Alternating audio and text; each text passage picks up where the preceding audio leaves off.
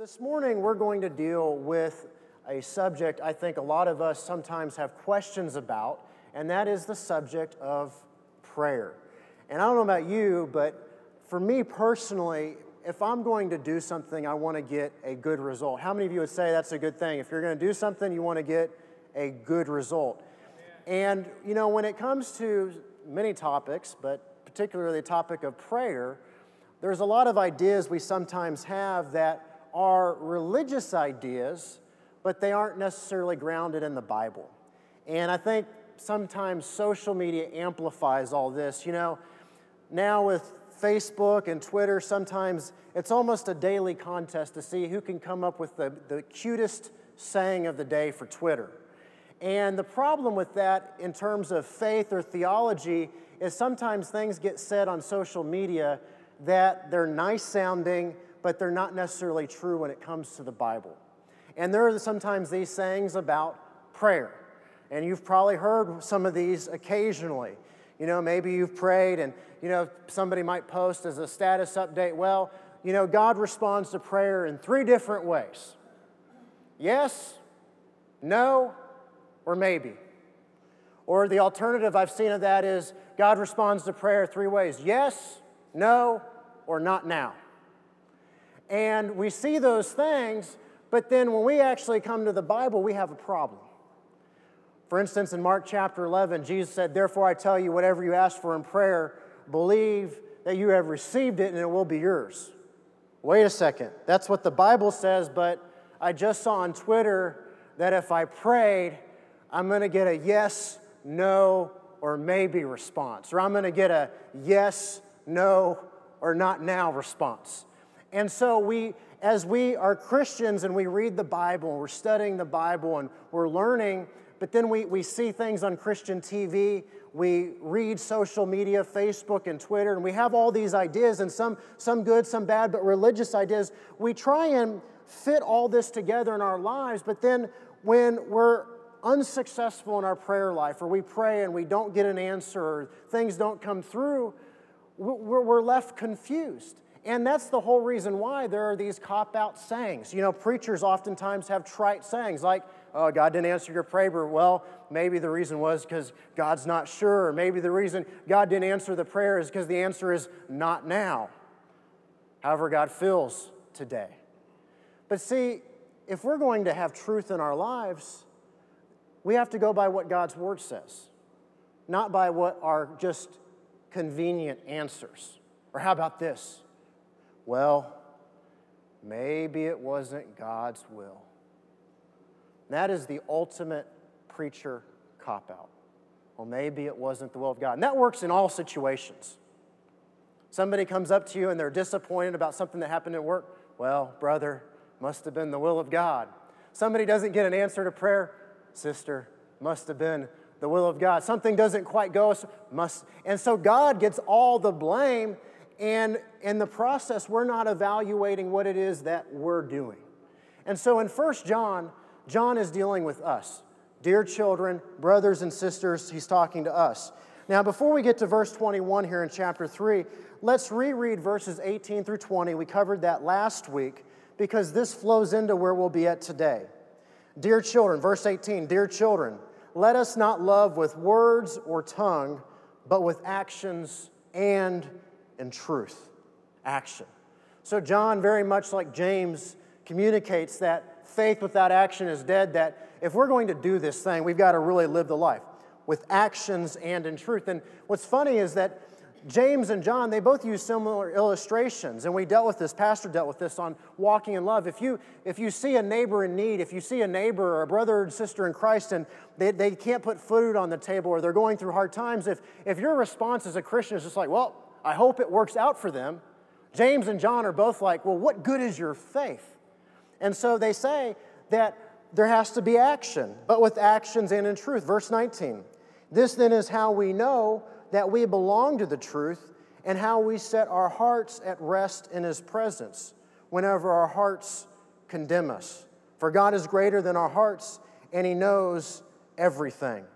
See, when we are Christians and we call ourselves by Christ and we go to church and we get all dressed up and our Facebook info about page says Christian or you know Bible believing Christian or super duper Bible believing Christian or whatever it says, the problem we run into is when we don't genuinely live the Christian life. Well, I'm, a, I'm a follower of Jesus, but I'm a total a hole. I'm going to do my best to make it as plain as possible this morning. I'm a follower of Jesus, but I'm a jerk. I'm a follower of Jesus, but I'm a liar. I'm a follower of Jesus, but I'm mean. I'm mean to my wife. I'm mean to my coworkers. I'm mean to everyone. I'm a follower of Jesus, but when was the last time I read the Bible? I'm a follower of Jesus, but when was the last time I prayed? And all of that. So you, you get into a situation where you're claiming Jesus, Jesus, Jesus, Jesus. You're not really living the Christian life. And what happens is your heart condemns you. Then you go to, you, you're, you're living that way, which we go back to 1 John chapter 1. See, what is that? That's a Christian who claims to be in the light, yet walking in darkness. So you're, you're living that way, you're in darkness, you're in darkness, but then you come up to a challenge in life. Maybe a challenge in your marriage or a challenge with a child or a challenge at work or whatever it is. Well, oops. Suddenly, you need to rejigger things and get right with God. Why? Well, you need something from God. You want God to move on your behalf. We get into these situations where our hearts condemn us. So, what we're going to discover this morning is that the secret to answered prayer is genuinely living the Christian life. Genuinely living the Christian life. When you claim Christ and you come to church, but you aren't really living the Christian life, you aren't, as we saw in verse 18, living the Christian life with action and in truth, when you live that way, when you are a lukewarm believer, not really on fire for God, not really faithful to God, when you live that way, you live in such a way where your heart condemns you because you know down inside you're not living the way Christ has called you to live. And here's where that becomes a problem in prayer. When your heart condemns you, you don't have confidence before God. You then go into the presence of God to ask God something, to ask God something on your behalf but your heart condemns you. You don't have confidence. So instead of stepping into the throne room of God with confidence, as the book of Hebrews tells us to do, you step into the throne room of God in fear, in doubt, maybe afraid, maybe scared. Why? Because you lack confidence. Your heart condemns you. And we see all throughout the Bible, Old Testament, New Testament, the ministry of Jesus, God responds to faith. Pastor Wednesday night used the example of the centurion. And Jesus said of the Roman centurion that he had not seen such great faith in Israel. And all the centurion said was, Lord, just say it. You don't even need to come into my house. Just say it. And I know my servant will be healed because I'm a man of authority and under authority, and I know what that means, what that is. He was fully and completely confident. What is that? F A I T H. But what we sometimes do is we're not living, really living the Christian life. Our hearts then condemn us because we, we know what we should be doing. We know how we should be living, but we're not. Our hearts condemn us.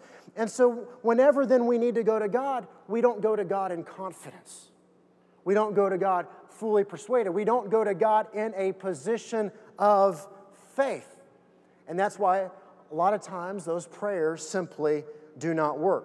Let's look at verse 21, 1 John 3 and verse 21. Dear friends, if, anytime you see that in the Bible, you got to stop and pay attention. If our hearts do not condemn us, we have confidence before God. So, is it possible to, as Hebrews says, to enter the throne room of God with confidence, to present our prayers and requests? Absolutely.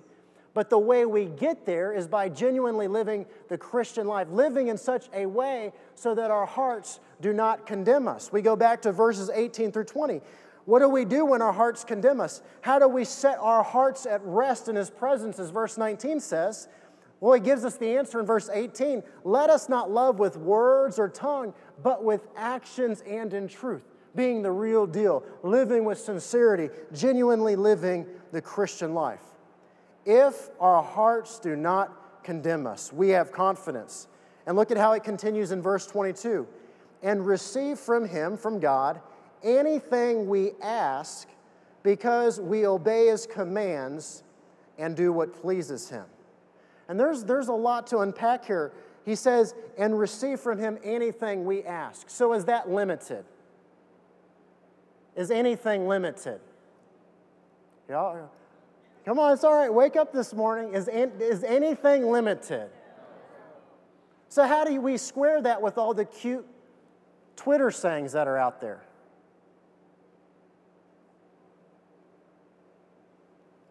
See, is the problem God? Is the problem with what God is doing, or is the problem with what we're doing? See, when we have those cute sayings, well, maybe your answer is a maybe, or maybe it's not in the Lord's timing, or, or, or maybe, maybe it's not God's will. See, we're shifting all the blame to God. God gets blamed for a lot of stuff he's not responsible for. So does the devil. Anything that is open ended, we receive from him anything we ask. Why? Look at what he says. Look at the language. Why? He uses because. Why do we receive anything we ask? Because we obey his commands and do what pleases him. So, see, right off the bat, we see that not every person who claims Christ is going to experience or enjoy this kind of relationship with Father God. Why? Well, because at the end of the day, not everybody's really living that way. They're not really obeying His commands and doing what pleases God. And what pleases God? What pleases God is living by faith. Hebrews 11, 6, without faith it is impossible to please Him because anyone that comes to Him must believe that He exists and that He is a rewarder of those who earnestly seek Him.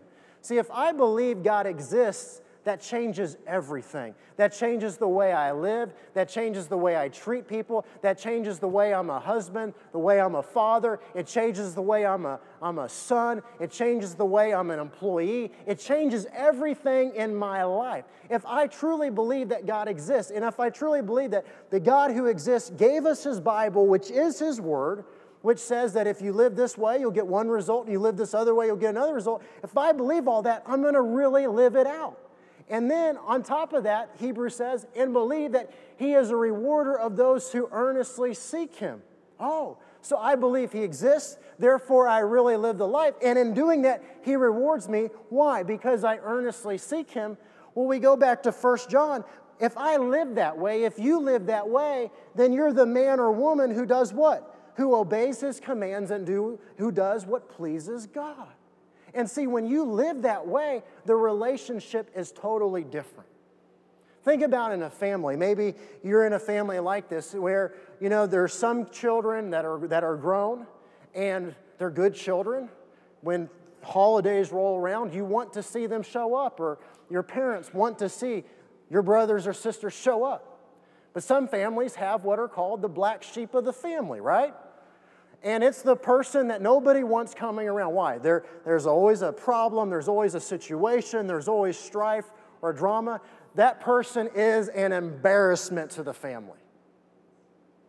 Well, see, the reality is, and if we, we see this, we know this, when we're good children and we come home to see our parents, it's a totally different interaction or situation than if we're that black sheep who's been doing his own thing, her own thing, bringing shame to the family, and then shows up and says, I would like something.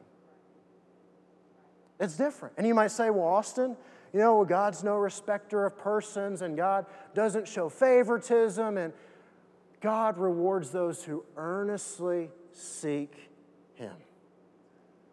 We all have equal opportunity before God, but if we just use our common sense, it's obvious, it's obvious in the Bible, not everybody gets the same result with God. Consider Saul and David. Saul had everything before him, every opportunity, and he threw it away. He eventually consulted with the witch, the witch of Endor. He went out in a bad way. Consider, we last few weeks ago, we talked about Cain and Abel.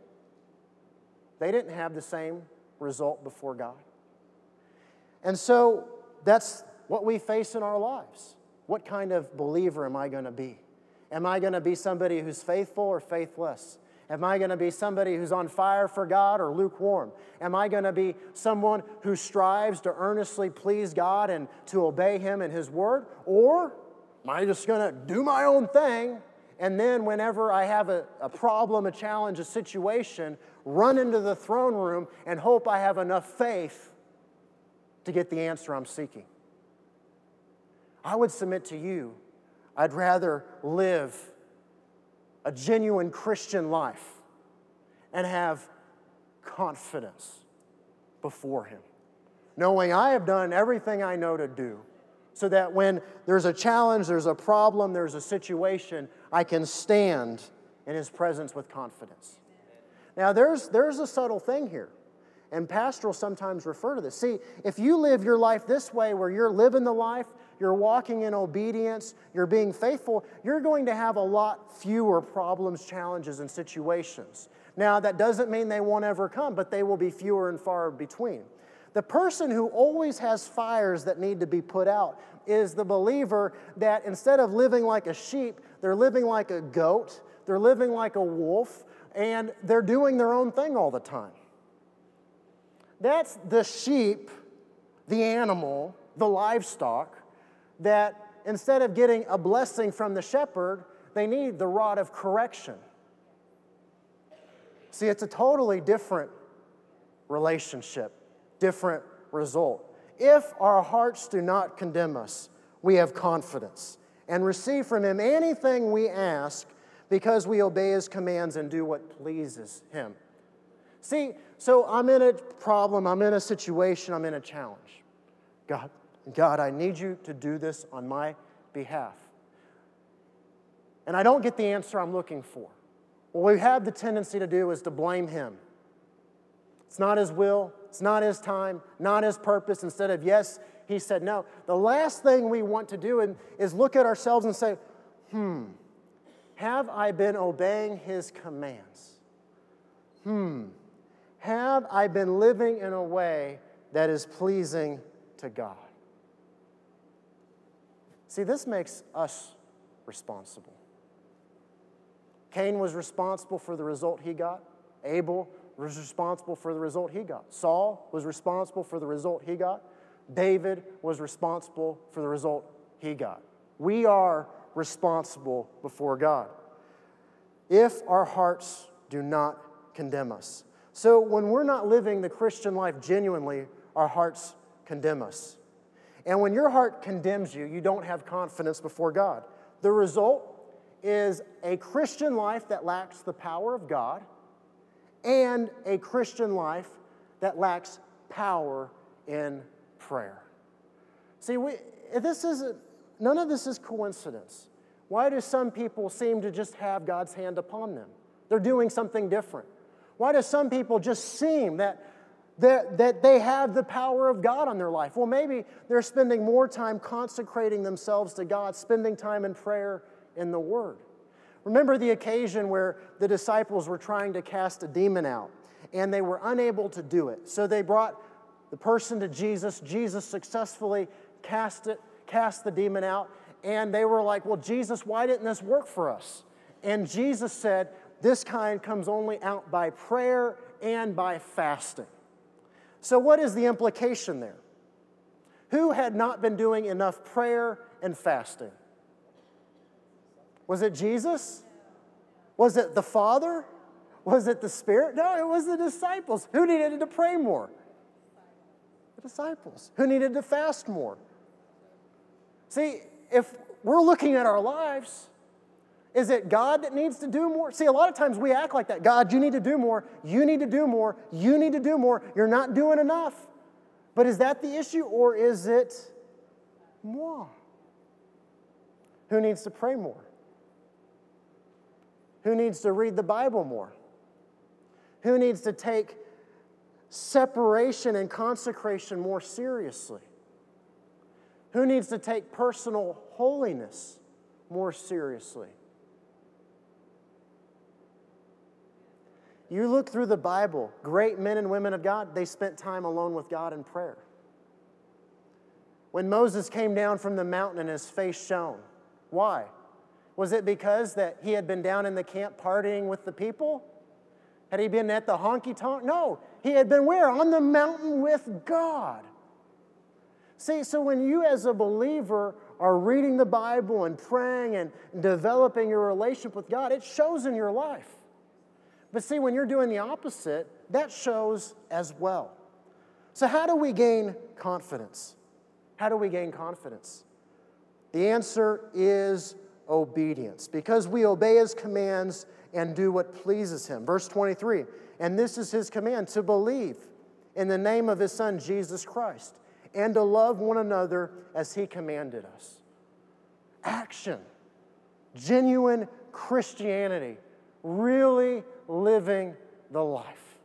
To believe in Him. If we believe in Him, truly it changes everything the way we live, the way we conduct ourselves. And then John makes it plain so we can't mess it up. Love one another. And as we've said previously in this series, loving one another sums up anything that we are supposed to do as Christians. It sums it all up. I can't mistreat someone if I'm walking in love. If I'm walking in love, then I'll be the husband or father or son or employee I'm supposed to be. I'll, I'll be that person. Why? It's the love walk. So, this morning, what I want you to walk away with is this that in order to see God's power in your life, to see God's answers in your life, if you want to live a life where when you pray, there is a response You've got to determine to be the real deal, to be the bona fide, genuine believer in Christ. Not just here at church when we all blow dry our hairs or gel our hair and get all pretty, but Monday when you don't feel like it, and Tuesday when you don't feel like it, and Wednesday, all throughout the week. See, Christianity is not just more, not just a band aid. And a lot of times we treat God and our faith like a band aid. I'll just do my own thing. But when I get in a challenge, oh, I'm going to pull God right out of the box and stick him on. And why would we be surprised that when we do it, we get a poor result? Doesn't work. We've got to live the life, we've got to obey. Then look at verse 24, and this is powerful, and it connects right in with another famous passage on prayer, and that's John 15. Verse 24 Those who obey his commands live in him, and he in them. Those who obey. So is it those who talk about obeying? Is it those who have, they would like to obey? Who lives in him? Those who obey. Now, why is this important? Another famous verse on prayer from John, the same author, John 15 7. He said, This is Jesus speaking to the disciples. If you remain in me and my words remain in you, ask whatever you wish and it will be given you. See, as I said, man, you come to some of these verses on prayer and they just fly in the face of all of our religious lingo and talk. If you remain in me and my words remain in you, ask whatever you wish and it will be given you. So then the question is, how do we remain? We have the answer here in 1 John 3 and verse 24. How do we remain? How do we abide? How do we live in Him? How do we make sure? How do we know? See, we go back to verses 18 through 21. How do I get to a place in my life where I have confidence that I am remaining in Him and He in me? How do I get into a place in my life where, in my heart, deep down inside, I know I am in Him and He is in me? That way, when I go into the throne room of God, I'm not recommitting my life every time. You know, I, am in a challenge. I got to run into the throne room. Wait, wait, before I pray, got 1 John 1 9. And I need to confess this, this, this, this, this, and this, this. Okay, confidence, confidence, confidence. How do I get to a place where there's confidence? How do I get to a place where I can pray and know He hears and answers whether I'm at home, whether I'm in the car, whether I'm at work, whether I'm at Taco Bell or at the drive through at McDonald's or outside the gas station or in the grocery store. How do I get to that place where I have confidence? He gives the answer. Verse 24 those who obey his commands. And see, this is something that we see you know, I've been in church, grown up in church my entire life. This is something I would say I see behind the scenes all the time.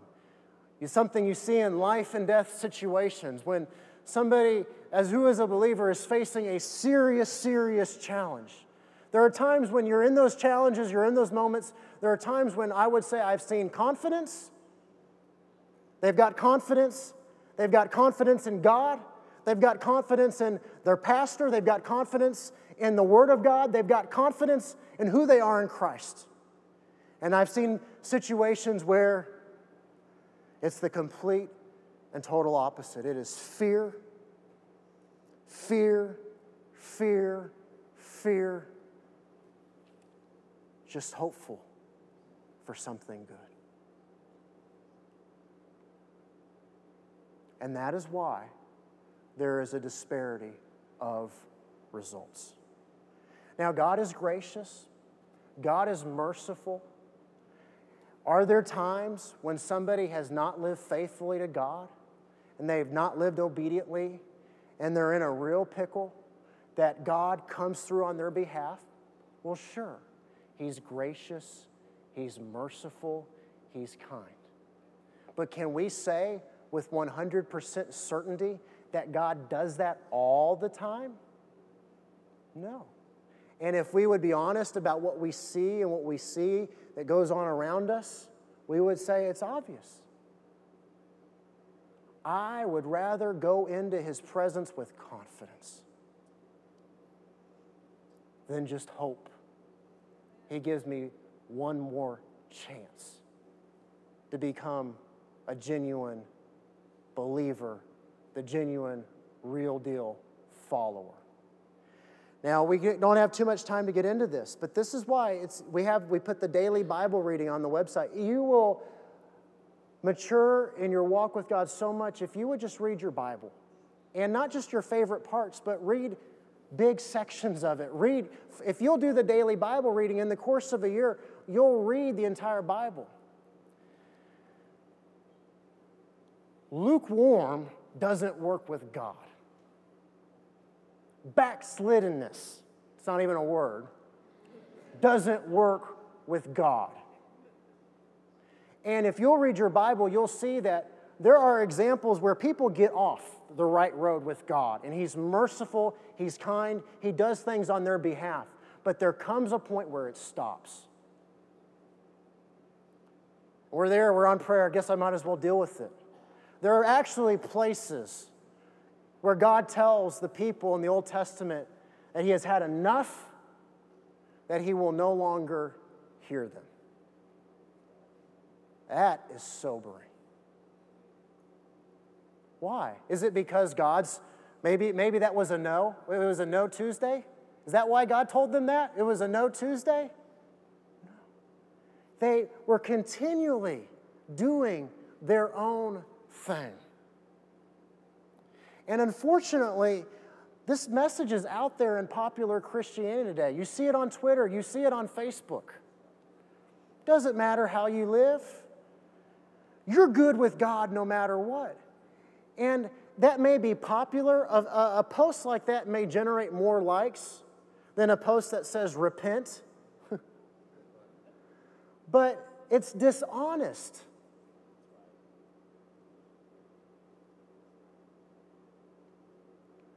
People who walk with God and people who have a genuine relationship with God and people who have a genuine prayer life. And when they pray, God hears and answers.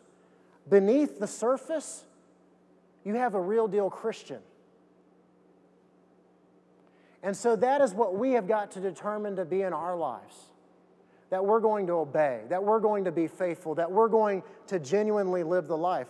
Then we can have confidence, and then we can say, and we receive from our wonderful, kind, good Father anything we ask. Why? Because we obey His commands and we love one another. But we've all got work to do. I don't think any of us this morning could say, man, I am, have reached the place where I perfectly obey God. If you think you can, just er, you know, let everybody around you know they can move further away from you. Amen. Before judgment comes. I don't think any of us this morning could say, you know, I have mastered walking in love.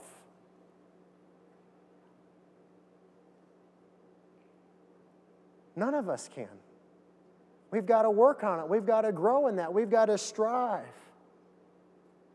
But it's the striving, it's the doing that gives us confidence before God. So, what is the secret? As we conclude this morning, what is the secret of answered prayer? it's being a real deal Christian, it's genuinely living the Christian life. So, you have confidence. And so, when you pray and ask God for something, you're asking in faith and not in doubt, not in fear, not in worry, but in faith. And that makes all the difference. Amen. Well, I hope the message this morning has been a blessing to you.